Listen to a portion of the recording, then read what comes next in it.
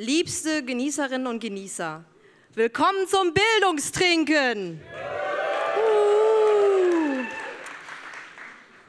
Da es eigentlich sind, es gibt es nur zwei Gründe, warum wir zur Republika kommen. Um zu reden und um zu trinken. Also reden wir jetzt übers Trinken mit Jörg, Hagen, Eva und Matthew und schmeißen natürlich auch ein paar Flaschen um. Give it away für diese vier tollen Menschen.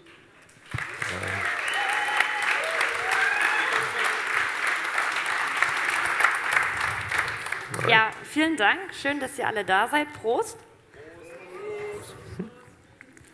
Ich habe die Ehre, äh, die einleitenden Sätze zu sprechen. Zuallererst die Mutti-Durchsage. Ähm, bitte guckt, dass ihr eure Gläser in Mülleimer schmeißt, damit wir hier am Ende nicht so viel aufräumen müssen. Ähm, danach, bevor wir loslegen, muss ich erstmal anfangen, Danke zu sagen. Und zwar äh, Danke an André, der draußen steht, von uns nichts mitbekommt und dafür sorgt, dass wir auch alle was zu trinken haben. Einen warmen Applaus. Und dann mindestens genauso wichtig, die Leute, die hier mit Schürze, Cocktailkleid und allem Möglichen bewaffnet rumlaufen und euch die Drinks geben und die sozusagen dafür sorgen, dass wir hier stehen können und ganz entspannt reden können.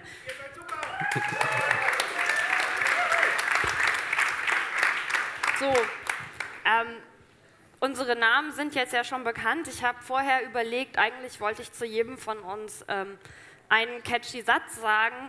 Ähm, nachdem wir uns dann aber etwas länger unterhalten haben, ist mir aufgefallen, eigentlich reicht ein Satz für uns alle, und zwar, ähm, wir reden alle gerne und wir trinken alle gerne und auch viel. Deswegen sind wir auch heute, genau, wir trinken viel und reden noch mehr. Äh, deswegen sind wir vier heute hier für euch. Und äh, das Konzept vom Bildungstrinken wird euch jetzt Matthew noch einmal kurz erklären. Genau, weil wahrscheinlich niemand hier weiß, was Bildungstrinken ist und ihr alle die letzten beiden Jahre nicht da wart. Ähm, erkläre ich es nochmal ganz kurz. Das Bildungstrinken ist ursprünglich ein, ein äh, Podcast gewesen und ähm, die Vergangenheitsform ist nicht ganz zufällig gewählt, aber ich fange vielleicht von Anfang an an. Ähm, vor vielen Jahren, also deutlich mehr als drei, bin ich häufig in eine Bar in Hamburg gegangen, das Le Lion, arguably eine der besten Bars in Europas und äh, wurde dort immer herzlich willkommen geheißen, habe mich dann relativ schnell in diese ganze Cocktailsache reingenördet, weil ich ein mega Nerd bin. Und ähm, diese ganzen Gespräche mit Bartendern waren immer sehr anregend und interessant. Es ging um Cocktails, es ging um Geschichte, es ging um Drinks. Und 2014 begab es sich dann, dass ich von einem, einem, guten Freund ein Aufnahmegerät geschenkt bekommen habe, schließlich und endlich. Und ich dachte, okay, hm, jetzt muss irgendwas damit machen. Podcast, mit wem rede ich denn viel, mit wem rede ich denn gerne? Jawohl. Und so entstand Bildungstrinken. Ähm, 2014 haben wir angefangen. Es gibt, glaube ich, 25 Folgen. Wir haben es also fast ein Jahr durchgehalten. Dann wurde, ähm, naja, der sonstige Stress zu viel. Deshalb ist es gerade so ein bisschen ähm, auf Pause. Aber dann haben wir relativ nahtlos auf der Republika-Bühne weitergemacht, jetzt zum dritten Mal. Und wir haben uns vorgenommen, diesmal keinen Stein auf dem anderen zu lassen. Also, drink on. Nicht spoilern. Okay. Soll ich mal übernehmen? Ja, also herzlich willkommen. Ich weiß nicht, haben schon die meisten, ich habe noch nicht alle, aber haben schon einige einen Drink? Ja, Sie trinken eine Paloma, heißt das gute Getränk. Das ist auf Tequila-Basis, da muss ich mich entschuldigen. Ich habe mich da... Ich habe mich da eben verrechnet. Ähm, das hätte irgendwie für 250 bis 300 Becher reichen sollen. Ich war bei 180, 90 leer mit dem Tequila. Falls Ihnen der etwas stark vorkommt. Das war jetzt nicht so gewollt, aber ich habe probiert und Hagen und ich haben beschlossen, das geht auch. Also es ist nach so einem, Schon okay. nach so einem langen Arbeitstag hier. Also tut mir leid, ist ein bisschen stärker geworden. Ähm, ja, es gibt eine Paloma, das ist wie gesagt ein Drink, äh, relativ einfach. Tequila und eine Grapefruit-Limonade, die heißt in Deutschland sogar Paloma. Äh, das schüttet man zusammen, gibt ein bisschen Limette rein und dann schmeckt es vielleicht nicht ganz so stark, aber eigentlich ganz erfrischend. Und ähm, wenn man über Tequila redet, ähm, dann denken viele von uns immer, also ich habe das zumindest so mit 16, also auch, nein, natürlich erst mit 18. äh, das war dann so hinter der Pizzeria, so, uh, wenn man diesen roten Hut, das kennt man, mit 16 ziemlich viel Tequila getrunken und danach schwört man sich, trinke ich nie wieder im Leben. Da hat sich eine ganze Menge getan. Der rote Hut hat sich verändert, der ist mittlerweile wieder auch anders hergestellt, aber es gibt auch viele neue Tequila. Und ähm, es gibt jetzt sogenannten 100% Agave-Tequila, also Tequila, der nur aus der rein blauen Weber-Agave gewonnen wird. Das ist eigentlich das, woraus man Tequila macht. Das haben sie hier im, im Brecher, das schmecken sie so intensiv. Und ähm, wie gesagt, da hat sich sehr viel verändert. Ähm, mittlerweile wird Tequila bei uns in den Bars sehr beliebt und viel getrunken. Und eigentlich wollten wir Ihnen heute einen Drink servieren. Ähm, der hat den Tequila, den neuen Tequila, den guten Tequila berühmt gemacht. Das ist die Tommy's Margarita. Dann haben wir aber uns überlegt und gesagt, den kann man auf so einer Veranstaltung nicht machen, weil den muss man wirklich frisch à la Minute aufschaken. Und wenn wir es für so eine große Menge machen wollten, das klappt leider nicht, dann schmeckt er nicht. Aber wenn Sie mal nach San Francisco kommen, ich glaube, San Francisco ist auch so ein kann man, kann man schon mal hinfahren. Genau, wenn man irgendwas mit Technik zu tun hat, ist man da manchmal. Und äh, da ist für die Barkeeper so eins der sieben Weltwunder, da gibt es das Tommys Restaurant. Das ist ein alter mexikanischer Familienbetrieb. Papa hat es äh, angefangen, der ist leider jetzt gerade verstorben. Äh, der hatte Diabetes und da hat er und sein Sohn haben sich eine Margarita-Variante überlegt, wo sie kein Likör reingeben, sondern Agave-Sirup, also Zucker, der aus Agaven gewonnen wird. Und damit konnte auch der diabeteskranke Vater weiter trinken. Das ist irgendwie also ich, ich, kann das jetzt nicht medizinisch, also ver, verhaften Sie mich darauf nicht, ja. Also das ist jetzt Disclaimer, ja. Also das müssen Sie selber entscheiden, aber das ist die Geschichte, die die erzählt haben. Und Tommy's Margarita, damit ist dieses Restaurant berühmt geworden. Ach so, ich stecke ihn mal um. Ähm, wie gesagt, das ist sehr viel guter Tequila, etwas Agavenzucker und frischer Limettensaft. Wenn Sie mal in San Francisco sind und so die echten Weltwunder besuchen sollten, sollten Sie da hinfahren und mal eine Tommy's Margarita trinken. Das ist wirklich sehr, sehr gut. Ähm, und der geschätzte Julio Bermejo, der jetzt das Restaurant leitet, der Sohn, äh, der hat, wie gesagt, sehr viel für den Tequila getan auf der Welt. Der, so ein, der nennt sich selber der Tequila-Ambassador, der fährt um die Welt und berichtet über Tequila und hält tolle Vorträge und begeistert die Menschen. Und ähm, der hat mir vor zwei Jahren eine sehr interessante Geschichte erzählt, weil Tequila, zum einen ist es bei Tequila natürlich so, Mexiko ist natürlich ein relativ armes Land, da gibt es relativ viel Landwirtschaft und man muss wissen, zum Beispiel Tequila wird aus diesen großen Agaven, das sind so Früchte, die im Boden wachsen, gewonnen. Und ein so ein Ball, der wiegt ungefähr, weiß ich nicht, wie viel Kilo, 20, 30. Auf jeden Fall kann man aus einem Ball 9 Liter guten Tequila machen. Und wenn man dem Bauer den abkauft, zahlt man, glaube ich, 90 Cent. Wenn Sie überlegen, dass eine Flasche guter Tequila hier in Deutschland im Handel 40 Euro mindestens kostet, mal 9, Einkaufspreis 90 Cent, also da ist eine recht interessante Spanne, äh, wirtschaftlich gesehen. Deswegen muss man manchmal gucken, wenn man guten Tequila trinkt, welchen man trinkt, weil da gibt es halt auch einige, die das relativ ausnutzen und die das relativ kriminell machen. Und äh, er hat mir eine sehr interessante Geschichte erzählt, weil er ist weltberühmt geworden dieser Tommy's Margarita und Ende, letzten, nee, Ende 2014, Anfang 2015 ist plötzlich was passiert, was natürlich ein Horror ist, wenn man mit einem Drink über 20 Jahre weltberühmt wird und jeder Gast, der in dieses Restaurant kommt, nur diesen Drink trinken möchte. Denn plötzlich, er, er braucht so 40 bis 50 Kisten Limetten am Tag und normalerweise kauft er die für 15 bis 20 Dollar. Und plötzlich sind die innerhalb von vier Wochen auf 120 oder 180 Dollar hochgegangen im Preis. Das war natürlich für ihn, also die Küche hat alle Rezepte geändert. Nichts wurde mehr mit Limetten angemacht, nur noch mit Zitronensaft. Die Barkeeper wurden zum ersten Mal in dieser Bar angewiesen, Paloma anzubieten und keine Tommy's Margarita. Also wenn ein unbedachter Gast kommt, äh, nee, probieren Sie mal eine Paloma, super, weil kein Limettensaft drin war. Ähm, hat natürlich nicht ganz so geklappt, weil sie sind damit berühmt geworden. Und es kam aus Mexiko, weil der amerikanische Markt wird nur aus Mexiko beliefert mit Limetten. Da kam dann die Geschichte, dass äh, eine, äh, irgendeine Krankheit auf den Limetten ist und sie deshalb so knapp sind. Man hat dann allerdings herausgefunden, dass die mexikanischen Drogenkartelle ähm, herausgefunden haben, wie viel Gewinn man damit machen kann und angefangen haben, von den Bauern Wegezölle zu nehmen und Bauern zu erpressen. Und die wollten halt sozusagen in legale Geschäfte einsteigen. Das machen die sowohl bei Tequila als auch bei Limettenanbau. Und äh, wie gesagt, man muss ein bisschen aufpassen, wenn man Tequila trinkt, wer vielleicht dahinter steckt. Nicht, dass wir die falschen Leute unterstützen. Genau. Ähm, nachdem Jörg ja Werbung gemacht hat, dass ähm, wir alle nach San Francisco fahren sollen, äh, mache ich jetzt Werbung dafür und sage, fahrt noch ein paar Kilometer weiter, fahrt einfach direkt nach Mexiko. Ähm, ich war da letztens relativ lange, ein Vierteljahr. Ähm, es ist sehr schön da.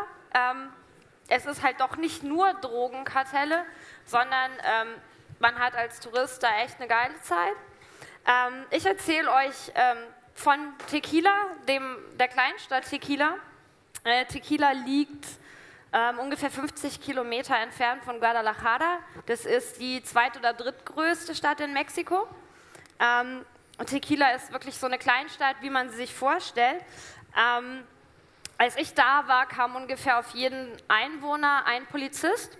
Ähm, das ist sogar für mexikanische Verhältnisse relativ viel. Ähm, ich habe dann mal gegoogelt, was man ja eigentlich nicht machen soll, warum da so viel Polizei ist und habe dann rausgefunden, dass eine Woche vorher irgendwie in einem Restaurant eine Schießerei war, ähm, acht Leute äh, gestorben und deswegen ist dann halt jetzt dann so viel Polizei da. Also ähm, gesagt, Drogenkartelle sind ein großes Problem in Mexiko. Ähm, ein anderes großes Problem ist, sind aber, ähm, oder sind aber auch die Touristen. Ähm, Tequila ist im Prinzip eine Folklore-Veranstaltung. Also man kommt dahin, meistens amerikanische Touristen werden in Busladungen dahin gekarrt, die sollen halt in zwei, drei Distillen gehen, dort möglichst beeindruckende Showrooms, die sollen halt möglichst viel kaufen. Aber zum US-amerikanischen Einkaufserlebnis gehört halt auch irgendwie, du musst ein Sombrero kaufen oder irgendwie scheißegal, ähm, was die Leute sich halt so unter Mexiko vorstellen. Und die wollen das halt haben, also gibt es halt auch die Nachfrage und ähm, entsprechend ähm, wird dann das auch geliefert. Denn ähm, die US-Amerikaner fahren sehr gerne nach Mexiko, da ist nämlich alles billiger und es gibt besseres Wetter. Ähm, interessanterweise heißen aber natürlich die vielen US-amerikanischen Einwanderer, die es vor allen Dingen im Norden Mexikos gibt, die heißen natürlich Expats ähm, und nicht Steuerflüchtlinge. Ähm, das sagt auch relativ viel aus über, ähm, ich sag mal, das Binnenverhältnis äh, der US-Amerikaner mit den Mexikanern. Ich ähm, frage mich jetzt auch immer, wenn man da eine Mauer bauen will, ähm, was man dann mit den ganzen US-Amerikanern macht, die ähm, in Mexiko sich einen schönen Lenz machen. Aber zum Glück muss ich diese Frage ja nicht beantworten. Ja, Tequila. Die gute Nachricht ist, äh, die gute Nachricht ist, es kommt rum. Wir machen weiter. Schnell Durchlauf durch die politischen Ereignisse hier. Äh, Ich glaube, die kommen die rum, Highball schon, kommen schon andere Getränke, sehen ein bisschen dunkler aus. Müsste, ja, ich höre ein gutes, ich höre einen Daumen hoch. Also wer das gleich irgendwann Ja, bekommt, ich weiß nicht, der sollte nicht ganz so stark sein. Wenn hat andere das in Schuld. Also ich nehme auch einen starken. Du nimmst Also er sollte schon Ich stark sein. einen Genau. starken für Hagen, bitte. Genau. Ein Highball bitte hier nach Genau, vorne. einmal bitte auch an die Speaker denken, die äh, dehydrieren hier auf der Bühne Genau, im Rampenlicht. Genau. Wir trinken äh, jetzt einen Rum-Highball.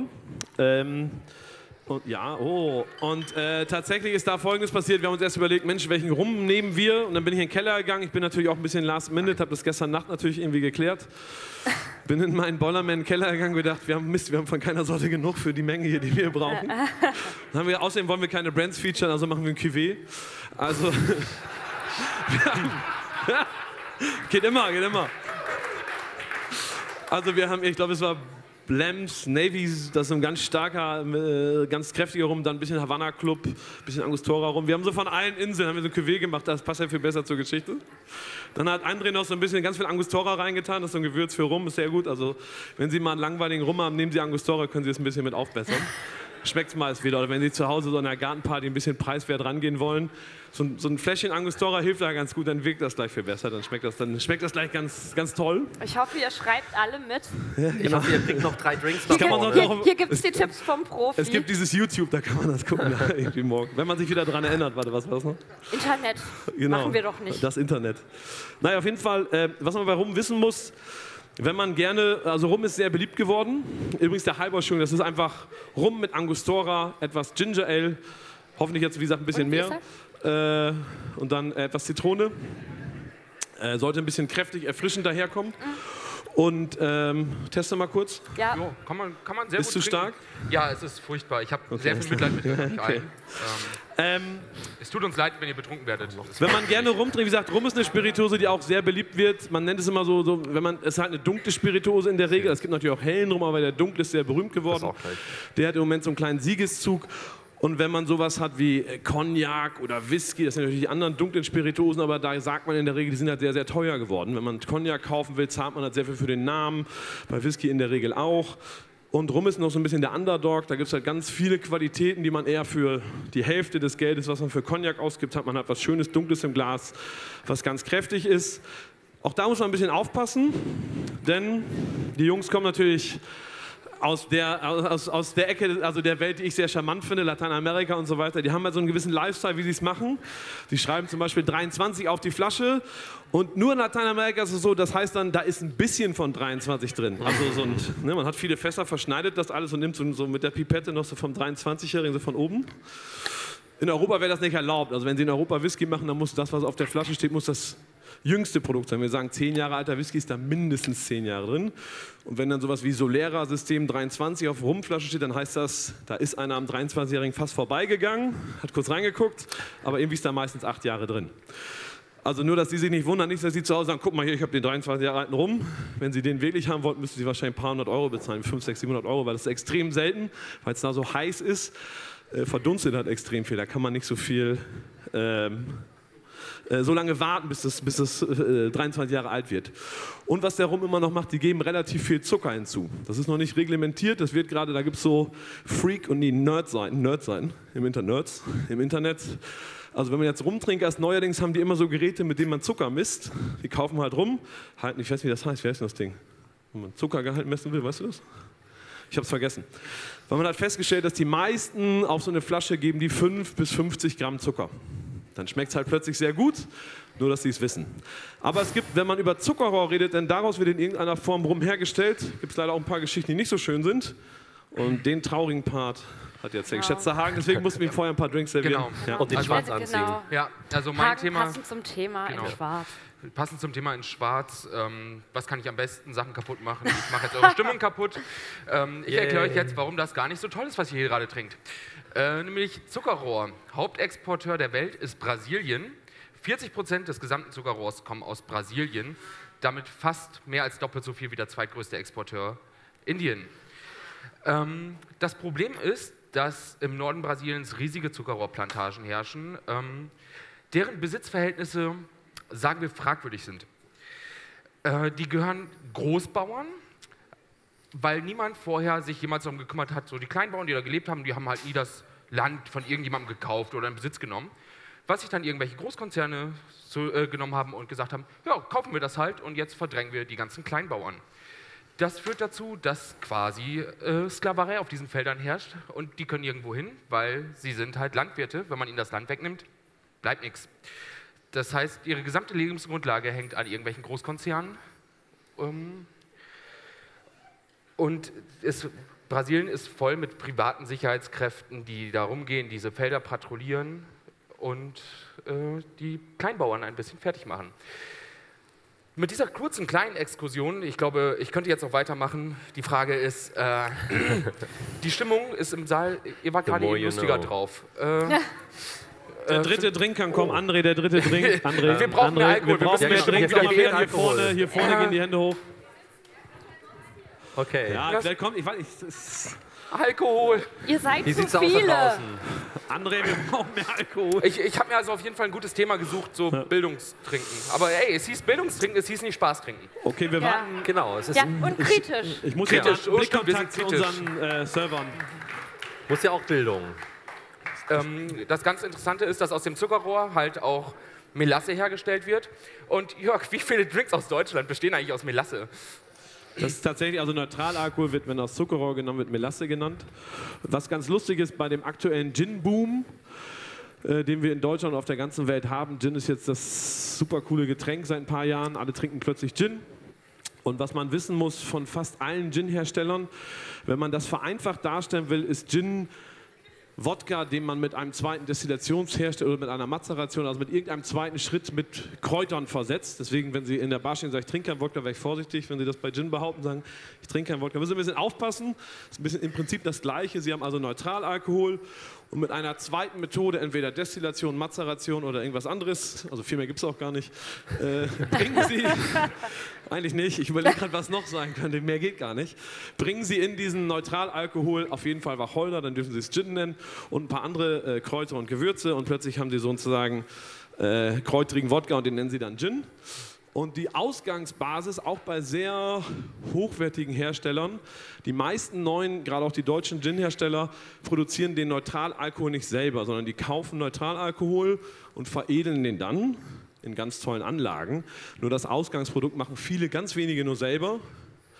Und bei seltsamerweise bei fast allen Herstellern, die kaufen halt sehr preiswerten Melassealkohol.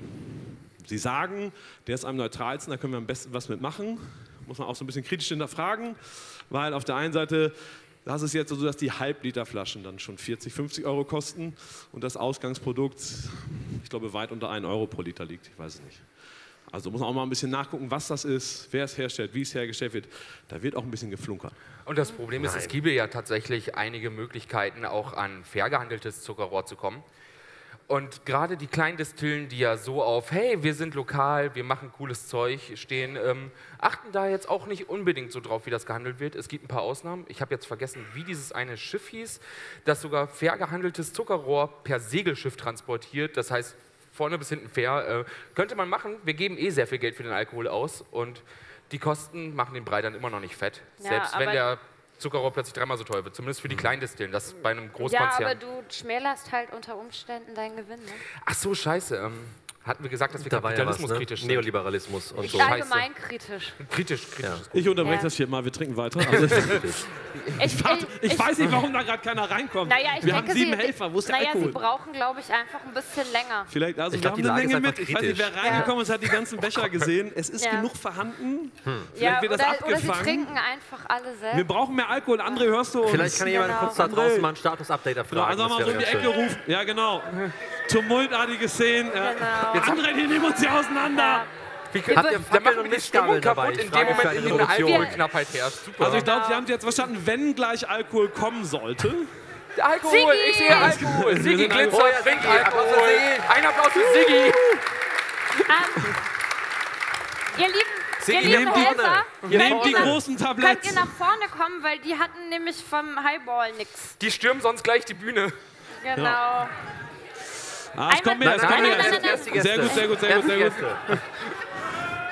Wir hatten ja nun Highball. Vielleicht kann einer, einer da hinten André sagen, er soll nicht bremsen. Ja? Er soll immer ja. weitermachen. Ja. Nicht genau. bremsen. Das wäre also an dieser Stelle wichtig, bevor das hier eskaliert. So, genau. äh, wir genau. reden weiter. Also der Drink. Für die ja. auserwählte Gesellschaft hier, die den nächsten Drink bekommt. Kinderdisziplin. Ja, genau. Also bitte. Jeder nur ein Kreuz. Es ist immer noch Bildungstrinken. Genau. Hier. Okay. Erst die ja. Bildung, dann das Trinken. Genau. Aber hier künstliche Verknappung erhöht ja, ja, die absolut. Nachfrage. Ja, ja. Also wir sehen Max Kapitalismus in Reinform. Ich muss gestehen, das gefällt mir auch so ein bisschen. okay. Ja, auch. Also. Partei, wie du nennst, ist gut. Nein, nein, nein. nein, nein. Wir ähm, haben genug ich kann euch, ich kann euch, ich kann euch kurz einen, einen kleinen Trick verraten aus der Gastronomie, wie ich als Gastronom das handhaben würde. Da gibt es ein sehr berühmtes Sprichwort und das heißt, erst mal, erst Tipping is not a town in China. Das hilft meist nee, sehr gut, wenn man die Aufmerksamkeit eines Bartenders haben möchte also oder von Servicepersonal. Ja. Ist ein kleiner ja, Profi-Tipp meinerseits. Äh, man kann da sehr viel beeinflussen, wenn man das möchte. So. Wir sind hier nur ähm, ich rede einfach mal weiter. Die, die Glück, ja hier, der Mann macht's richtig. Sehr gut. Mit den Scheinwedeln. Sehr gut. So gefällt mir das. Ruhig mal so lässig hochhalten, dann wird genau. das auch so. Ja, finde ich gut. Find ich Trinkgeld gut. macht Freunde, ne? Genau, Trinkgeld macht Freunde. Ähm, Was trinken die jetzt eigentlich gerade? Ich glaube, Tipp ist übrigens die englische Übersetzung ist to ensure promptness und das wäre dann ja. so. Das ist tatsächlich so. Tipp heißt to ensure promptness, also wer clever ist, Tipp vorweg. Erklär noch mal, was es für ein Drink gibt. Ja, genau. ja ich wollte ja, ich komme ja gar nicht dazu. Natürlich. Bitte leise schnippen, ich muss hier weiterreden. Hat einfach keine Redezeit. Also. Der Arme. Ja, ich, ich, ich, ich komme ja gar nicht dazu. Ja, go. Wir trinken jetzt, oder die, die das Glück haben, jetzt schon zu trinken, trinken. Manche. Jo einen Quince Tonic heißt das Getränk. Das haben wir uns für den Sommer, haben wir es gerade für die Bar gekauft. Das ist einer der, finde ich, tollen deutschen Gin-Hersteller, der heißt Ferdinands. Und Ferdinands hat sich etwas überlegt, weil erstmal haben alle angefangen, Gin zu machen. Und jetzt haben alle nach ein, zwei Jahren gemerkt, dass das jetzt alle machen. Jetzt haben sie überlegt, was macht man denn noch so mit Gin? Dann machen jetzt alle immer einen Slow Gin, das ist eine alte Tradition. Technisch gesehen dürfte man das gar nicht Gin nennen, aber in der EU-Verordnung darf man Slow Gin immer noch Gin nennen obwohl er eigentlich ein Likör ist. Das heißt, man nimmt Gin, nimmt Schlehen, Zucker und lässt das einfach sozusagen äh, stehen und gewinnt daraus Slow Gin. Also es ist Gin mit Schlehen und Zucker. Wird dann meist noch mit Wasser. Bitte? Ja, äh, genau, hier Ja. ganz vorsichtig, vorbildlich. Bitte nicht zu laut schnipsen wie in der Schule. Ich kann da nicht helfen. Du brauchst mich nicht angucken, ich hab nichts. Also, du musst vielleicht deine weiblichen Reize spielen lassen, das weiß ich nicht. Also, sorry. Ähm, auf jeden Fall. Was ich sagen wollte, Ferdinand hat was ganz Interessantes gemacht. Die haben halt gesagt, wir machen nicht einfach wie alle jetzt Quitten, äh, Entschuldigung, Schlehen-Gin, sondern wir machen Quitten-Gin. Wir haben den Garten voller Quitten. Wir nehmen statt Schlehen einfach Quitten, haben ihren Gin genommen. Ferdinands macht immer Gin und gibt 3 bis 4 Prozent Riesling in den fertigen Gin. Dadurch wird er recht blumig. Und das Ganze haben sie jetzt sozusagen mit ihnen Quitten aus dem Garten äh, abgefüllt, haben abgewartet, haben abgesiebt, mit Wasser etwas runtergesetzt auf 30 Volumenprozent. Und das ist jetzt Quitten, kein Gin, weil er zu wenig Alkohol. Der heißt einfach Quitte von Ferdinands. Ist aber, die Basis ist Gin. Das Ganze mit Tonic ist für den Sommer ein sehr schönes Getränk. Ihr könnt euch Okay. eure Getränke auch teilen. Genau. Sharing is caring. Äh, liebes Äh, Republika-Team, nächstes Jahr hätten wir gerne eine Pipeline hier installiert. Für das Drink Delivery. Genau. Eine Aber zum deutschen Gin. Vielleicht könnt ihr uns mehr Volumen geben, dann ist das nicht schlimm. Für deutschen Gin, Deutscher Gin, genau. genau. Also Gin Bong und alle kommen nach vorne auf die Bühne und ähm, mit einem sehr, sehr großen Fächer. Ja. Ähm, genau, deutscher Gin. Äh, mit Gin verbindet man ja immer so, so England und die Navy und die Queen und Kolonialismus und Kram und vielleicht Malaria. Ähm, mit Deutschland eher so den, den Korn, den Weinbrand, den Kümmel. Ich kann einfach aufhören zu reden, Ja. das ist eh wurscht.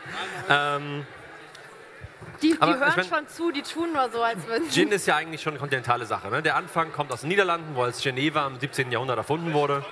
Und ähm, dann. Ja. Okay. Also Quince, Gin, Quince nicht Gin mit Thomas Henry Tonic.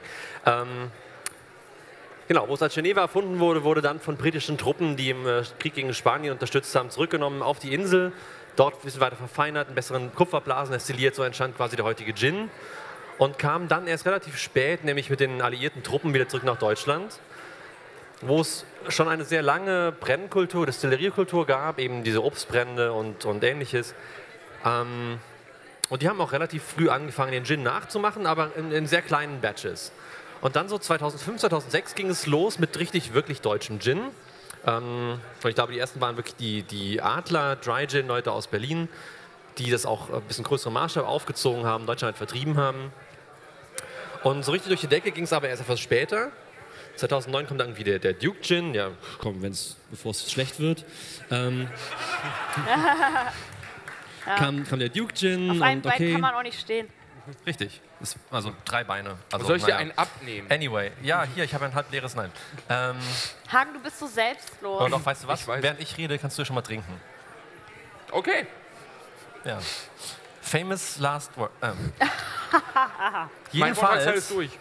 2010 wurde Monkey 47 gegründet. Monkey 47 ist wahrscheinlich vielen so der, der Inbegriff des deutschen Gins oder des Craft Gins, der erste, der groß bekannt wurde.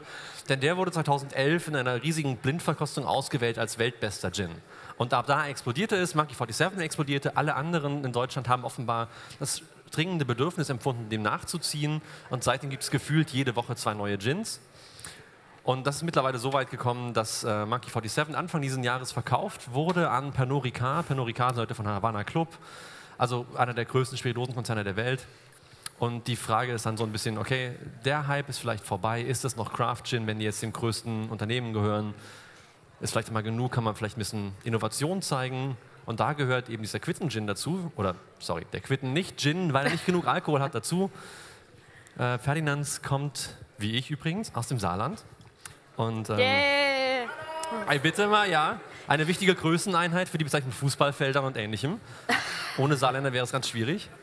Und ich meine, aus Quitten Sachen herzustellen ist echt kein Spaß. Wer mal Quitten geerntet und geschält hat, der weiß Bescheid. Also, Macht ihr das enjoy. im Saarland so als Hobby? Ja, wir haben relativ viele Quittenbäume und dann müssen die Kinder immer da so die Quitten pellen und, und schälen und Ihr hattet ja sind auch ein bisschen giftig, glaube ich. Alles nicht so. ihr hattet ja sonst nicht. Ja, aber wir werden stärker dadurch. Das können alle anderen halt nicht beurteilen, weil niemand kommt aus dem Saarland. Auch. Saarland ist ja auch so ein bisschen das Bielefeld Deutschlands. Ne?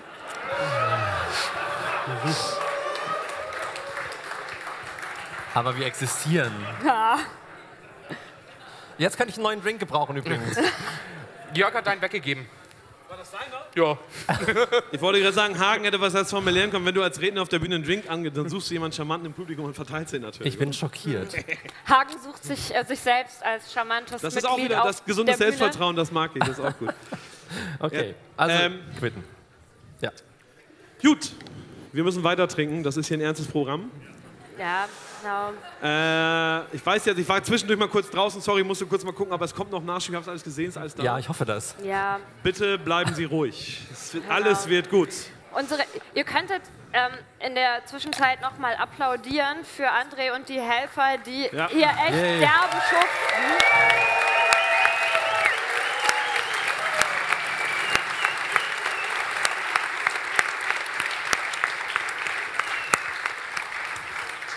Vielleicht das Wichtigste an allen So. guten Bars, der gute, das gute Back-Office. Ja. ähm, wenn Sie sozusagen uns oder mich oder doch eigentlich uns alle, aber das ist jetzt auch ein bisschen, das hat ein bisschen was mit uns, also mit, mit Boilerman Bar, mit Le Lion zu tun, das kommende, was jetzt, also wenn Sie uns tippen möchten, hätte ich eine Bitte. Wenn Sie ein cleverer Bildungstrinker sind, was Sie natürlich hier allein teilen, sonst wären Sie ja nicht hier. Spätestens nach dieser Session. Genau. Dann haben Sie natürlich folgende Regel beachtet: keine Tweets seit 45 Minuten gesendet, weil jeder Gast mehr würde bedeuten, jemand, der Ihnen den Drink wegnimmt. ich hoffe, soweit ist. Ich check das nachher, ja. Also, wer jetzt irgendwie vorher getweetet hat, hat es nicht ganz verstanden. Nur so fürs nächste Jahr. Nicht zu früh anfangen zu tweeten. Immer erst die Bilder machen und dann so eine Minute vor Ende raushauen, raushauen, raushauen, raushauen. Das wäre also ganz gut. Letztes Jahr waren wir übrigens Trending Hashtag für zwei Tage in Deutschland war Bildungstrinken und wir haben das ein bisschen abgefeiert. Ja. Also, Ähm, ich würde mich freuen, wenn ihr hier so die Challenge, also jetzt Ja, könnt drei- ihr langsam drei- anfangen. drei oder vier Tage schaffen wir, oder? Also, ich meine, ja. der Saal ist größer. Hier wird die Grundlage gelegt. Ich wäre euch sehr voll. dankbar. Jeder nur ein Tweet Aber ich pro möchte Drink. euch. Also doppelt voll. Okay, wir müssen weitermachen, ich weiß, ja. Das ist tatsächlich im Moment eine räumliche Geschichte, weil er ist sehr viel in Berlin, ich wohne halt in Hamburg, habe da sehr viel zu tun. Wir geloben Besserung, wir werden demnächst. Oh, ist da ein Tablett mit Gläsern zerfallen? Nein! Ihr müsst alle sehr tapfer sein. Ja, genau. War es Alkohol Das oder war es irgendwas nicht durch. Egales? genau. Wir sind hier auf der Republika. Alles okay? Nichts passiert? Ja, sieht, sieht gut aus. Niemand blutet, alles ist okay. Also, wir haben gerade über Gin. Hahaha, da kommt Da kommt der Nörgelknete. Alkohol. Genau. Yay, komm. Auch ein Tipp, wenn ihr auf der Suche nach Freunden seid, bringt Alkohol. Es funktioniert. Also, Ich mache übrigens, äh, wir machen öfter so Tastings im Le Lion, so, und da machen wir solche Abende, wo wir halt über, über das Trinken reden. Und da ist immer meine Philosophie, die Bank gewinnt immer, weil am Ende des Abends, egal wie schlecht es vorher war, fand alle den Abend super. Sie müssen nur genug Alkohol schicken, das ist immer ganz hilfreich. aber erinnere mich nicht an mein letztes Gin-Tasting im Le Lion. Nein, nein, das, Das äh, war leider oh auf Gott, Band. oh Gott. Nein, nein, nein, Diskretion, nein, nein, Diskretion, nein, Diskretion. nein, kannst- nein, So, wir wollen weiterreden. Wir wollen weiterreden. Und zwar, Nicht wirklich. ich brauche jetzt noch mal ganz kurz Ihre Mithilfe. Wenn Denn wir sagt, müssen, übrigens über, wir müssen jetzt ein bisschen gesellschaftskritisch über Marketing reden, denn Spirituosen, das nennt man halt so die Fast-Moving Consumer Goods mit einer sehr hohen, bei Premium-Spirituosen ist eine extrem hohe Marge, sehr wenig Wareneinsatz oft und so weiter. Einige machen solide Handarbeit, da ist okay, viele blenden da. Und äh, das ist natürlich unser Geschäft. Wir als Barkeeper müssen gute Produkte weiterverkaufen, weil Sie die auch gerne probieren wollen. Aber wir haben uns im letzten Winter einen kleinen Spaß erlaubt. Und da bräuchte ich jetzt Ihre Hilfe, weil was Sie jetzt trinken, ist der Nörgelknete Highball. Hat jemand von Ihnen schon mal was von Knete-Gin gehört? Hands, please. Hände hoch, Hände hoch, Ja. Da Hände hoch. sind zwei, zwei, drei, sind noch nicht so viele, sind ein paar. Okay, Okay, sind sehr ein paar, gut. Ihr ganz seid wenige die Hände. First Movers. Ich gebe hier mal so, Early Adopters. Influencer. Yay. zur Enttäuschung sind die Flaschen leer. Also wer, Wir werfen die mal ins Publikum. Ja, gute Idee. die, die kommen jetzt ja gemixt in die Menge sozusagen. Ähm, es sind Sammlerstücke, aber ich würde Sie trotzdem bitten, ich erzähle gleich, warum das ein Sammlerstück ist, ich würde Sie trotzdem bitten, sie durch die Menge zu reichen. Und wer uns helfen will, muss ein Foto davon machen und ich erzähle Ihnen gleich welche Geschichte dazu. Gib die mal durch. Achso. Weil der Knete Kannst du kurz Gin, sagen? da steht ganz ehrlich drauf, es ist ein industrielles Produkt seit 2015. Es ist Deutschlands erster Hip-Hop-Wannabe Dr. Dre Gin. Und äh, Gebt sie einfach mal durch. tatsächlich ist er relativ, wir haben einfach im? Flaschengroßhandel nach der richtig, die richtig billig und massiv aussieht. Wir haben so eine Literflasche gesucht, haben dann so ein Etikett drum gebaut. So. Weil wir mehrere Editions haben mittlerweile. Also wir arbeiten gerade am Distillers Cut, da kommt dann da ist vorne so ein kleiner Affe drauf mit einem Basecap. Der nächste hat dann so Grills und ist so ein Pimp. Also die, die Distillers Cut Edition kommt relativ schnell. Sie müssen dann aber nur das Etikett austauschen, nicht die Flasche. Also der Inhalt ist der gleiche. Wir nehmen einfach mehr Geld. Der, wir spielen so ein bisschen mit dem Marketing von Gin, weil die Geschichte zum Knete-Gin ist folgende und den Drink, den Sie jetzt haben, ist, die, ist der Nörgel Knete Highball. Ich hoffe, er schmeckt Ihnen. Die Geschichte ist folgende: Es gibt eine ganz tolle Bar in Berlin. Das ist die Boost Bar. Yeah! Ich- Fußball, represent! Ich würde Ihnen jetzt gerne sagen, Sie müssen da heute Abend alle trinken gehen, weil das ist richtig gut. Die Schwierigkeit ist, die sind vor ein paar Wochen abgebrannt, leider. Also so Ah, richtig war so mit doof. Physik.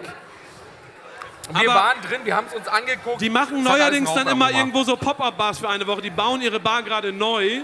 Gibt Und es heute ein Pop-Up? Heute Abend leider nicht, Einmal aber zuhören. morgen Abend gibt es in der Boostbar-Location Terrassenausschank. Aber das passt auch super, weil heute Abend sind wir ja alle Genau. hier auf der Heute Party. Abend sind ja alle hier bedient. Okay. Ab morgen Abend in der Boxhagener Straße 105 in Berlin-Friedrichshain. Boostbar-Terrassenparty.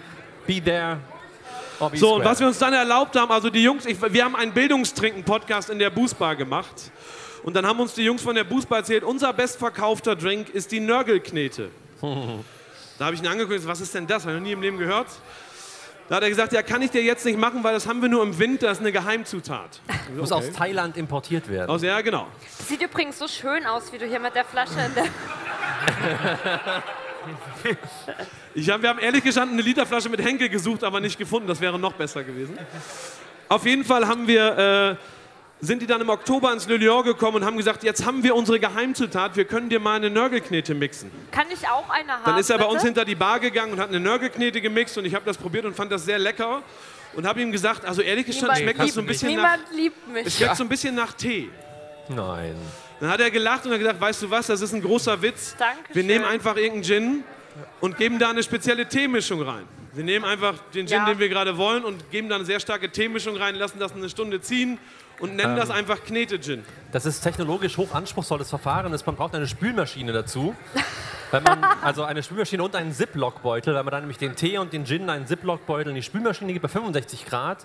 Dadurch wird verhindert, dass der Alkohol irgendwie verdunstet und entweicht. Aber der Tee entfaltet sein Aroma und geht in den Gin. Ähm, Also, Okay.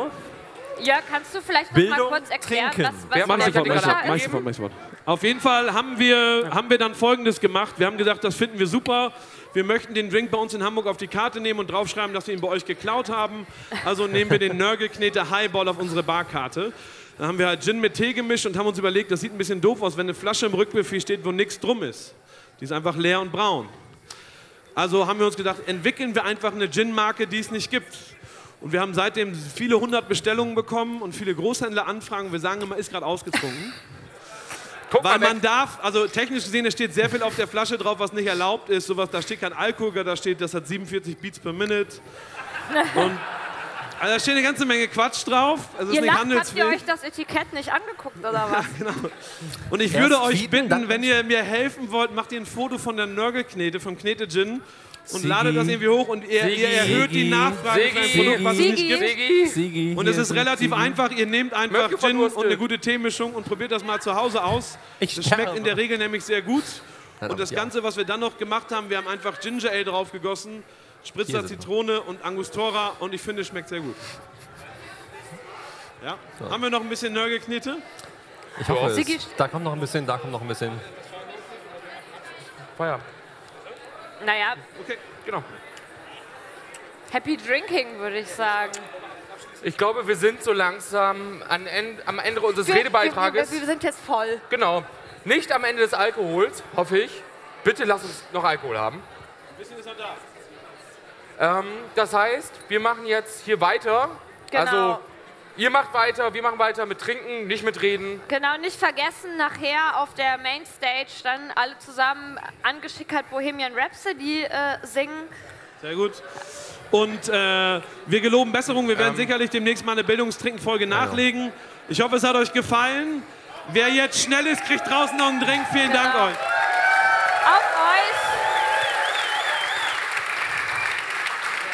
Machst du Musik?